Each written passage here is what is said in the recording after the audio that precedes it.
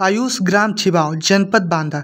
जैसा कि आप पोस्टर में देख रहे हैं, आयुष ग्राम का मतलब होता है ऐसा गाँव जिसको आयुर्वेद के डॉक्टर, आयुष के डॉक्टर, आयुर्वेद के नहीं, आयुष के, जिसमें आयुर्वेद, यूनानी, होम्योपैथ तीनों आते हैं, इनके डॉक्टर गाँव को गोद ले लेते हैं। इसके बाद उस गाँव में औषधीय पौधे लगाए जाते हैं और लोगों का इलाज, जो ग्रामीण है, उनका इलाज आयुष पद्धति पे होता है, यानी होम्योपैथ से होता है, आयुर्वेद से होता है, यूनानी चिकित्सा पद्धति से होती है।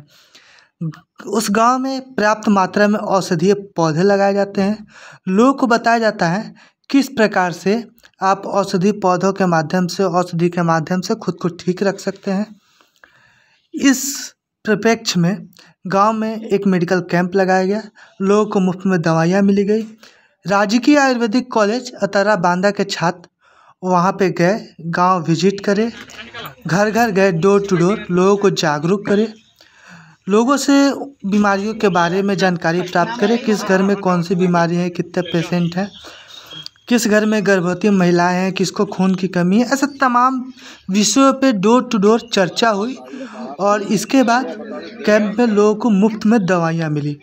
जैसा कि आप वीडियो में देख पा रहे होंगे, लगातार जो डॉक्टर्स हैं होम्योपैथ के, आयुर्वेद के, लोगों को दवाइयाँ लिख रहे हैं। और यह एक सीन है किस प्रकार से गाँव में पूछताछ की जा रही है।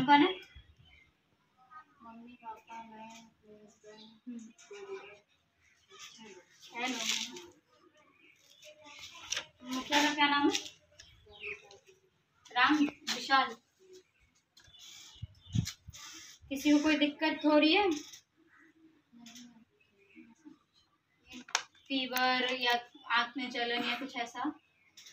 कुछ नहीं है? गर्भवती?